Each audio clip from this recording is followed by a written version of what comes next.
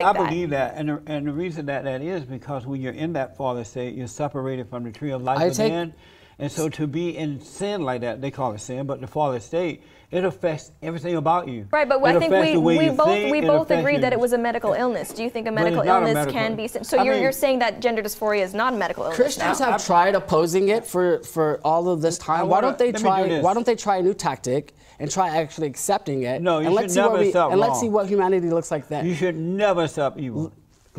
But uh, do, you- do, And you- as do you long as you- understand what I'm hate saying? either. Something. Don't so hate you it. you don't think gender dysphoria is is a medical condition? Because in my mind, something can either be a medical condition, which is diagnosable, treatable, That- and it's, that's all irrelevant when it, when you're dealing with religious zealots. Like, it doesn't matter what science says about Am it. I a 'cause they just think that they're all uh, Am I a zealot? liberals anyway. Are you calling me a zealot?